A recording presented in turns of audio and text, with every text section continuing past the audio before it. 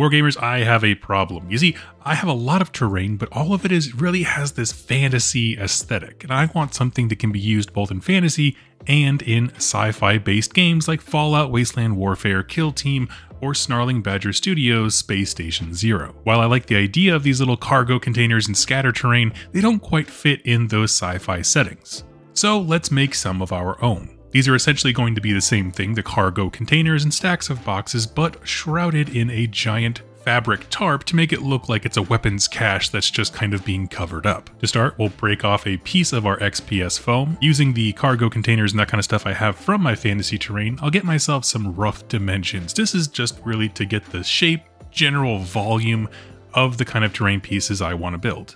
Once that's been cut, we'll go through the arduous process of breaking down those squares into smaller and smaller sections.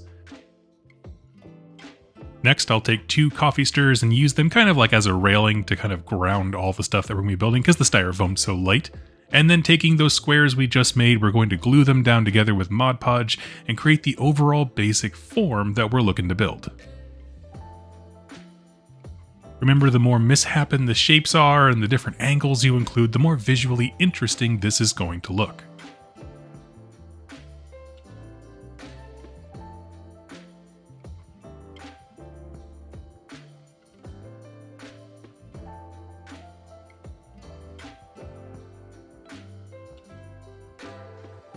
I even went ahead and made a tiny little one as an objective marker just to show you that you can do quite a bit with this same idea. Now next we're going to mix up some Mod Podge and some water in a 2 to 1 ratio, so just a little bit of water to a bit more Mod Podge. Take a paper towel, dunk that sucker in there, get it fully, fully soaked, and then we're going to drape it over that little terrain set that we just made. Now, here's a pro tip. Starting from the top, you really want to pinch all of the individual boxes that you made. You're trying to define those right angles, those hard corners. Start at the top and work your way down to the bottom. In fact, when I get to the bottom, you can see here I'm using a brush. There's no Mod Podge or anything on it. I'm just using the brush to push the paper towel into the nooks and crannies. Again, the more you do this, the more definition and shape you're going to have in your final product. I will warn you though, you're going to want to let this sicker have like a day or two to dry.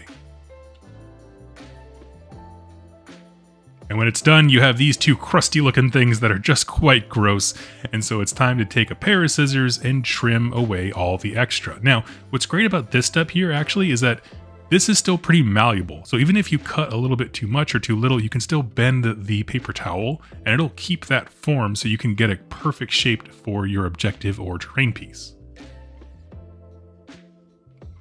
Now we're going to do one more coat of Mod Podge, but this time we're going to inject some brown paint into it. This is because, one, now that we have the overall shape that we want, we want to protect it and strengthen it. That's what this layer is going to do. But also that brown paint is going to act as a base for all of our painting going forward. And there is no trick to this, just really lather this stuff on. We're not worried about micro details that we're going to lose. In fact, if you have a pattern on your paper towel, this will cover that up and saturate it so that it looks more like just a general rough material than having a nice little clean pattern all over your cargo containers.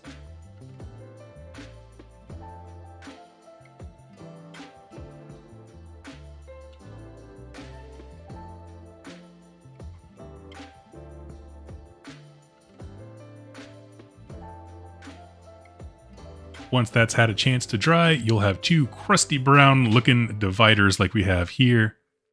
And we're going to start dry brushing. Now I used decomposed flesh from AK Studios. Really, it's just kind of an equivalent to Shabti Bone from GW. And we're going to do an exceptionally heavy dry brush with this because this is really the main color I want it to be. That kind of khaki, you know, a cloth tarp looking material. And so we're going to do, like I said, a very heavy dry brush all over all of it.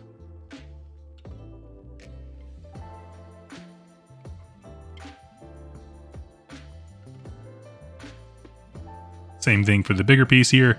Of course, this one has a lot more wide edges, so just be careful of that. You really can't go too hard with this, provided you just kind of leave some of the deepest recesses alone.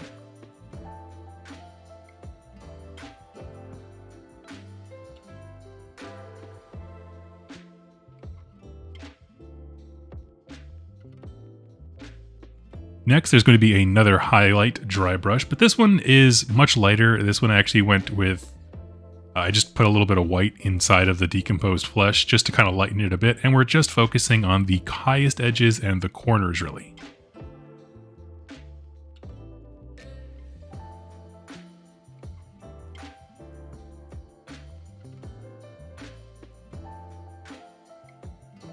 Next year, I went ahead and took some Skeleton Horde contrast paint by Games Workshop, and I, I noticed that a few of the wrinkles weren't really well defined. It wasn't that the dry brush was too hard, it's just that the shadows from the brown I chose weren't deep enough.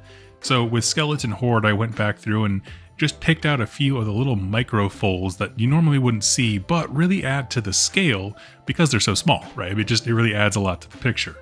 Go around, trace all the little uh, dividers, wrinkles, that kind of stuff with just the tiniest amount. And I'm talking like there's barely anything on my brush of Skeleton Horde because it is that same khaki skeleton bone color.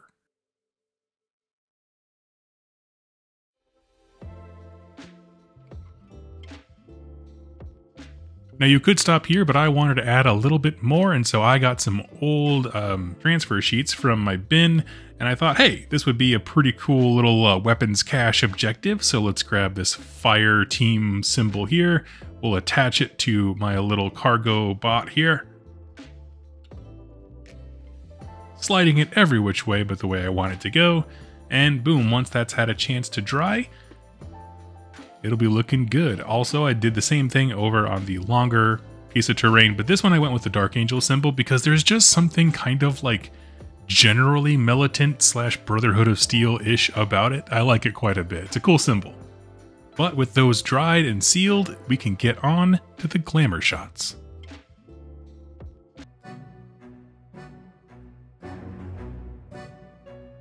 I just wanted to give a massive thank you to hanging out with me today and watching these. I hope that you can crank out a ton of these things. I think I did 12 in this big batch all at once. And it's the quickest, cheapest way to fill an entire table with terrain. Just have people fighting in the ancient storage rooms that the, you know, the Ark of the Covenant from Indiana Jones is hidden in. If you're interested in more stuff like this, of how I do terrain for the various miniatures agnostic games that I'm going to be covering here on the channel more and more, please let me know in the comments down below. And if any of those games do interest you, I have a link tree in my description down below that'll have a whole bunch of savings for you no matter what miniatures game you are looking to play. It supports me, my wife, the channel, and I'm so thankful for each and every one of you who uses those links. Until next time, friends, happy wargaming.